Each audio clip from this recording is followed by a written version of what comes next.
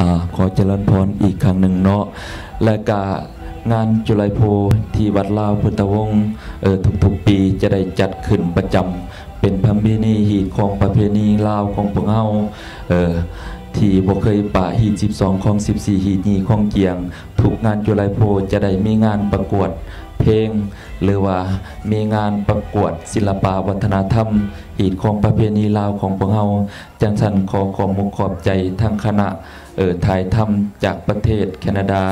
ถือว่าอยู่โตรอนโตเพิ่นมาถ่ายทำกับขอบอกข่าวเปล่าเตือนเบิดญาติพี่น้องอยู่ทุกมุมโลกเนาะเออถ้าว่าได้เบิ่งได้ส้มได้ฟังเออหรือว่าการถ่ายทำจากคณะเออ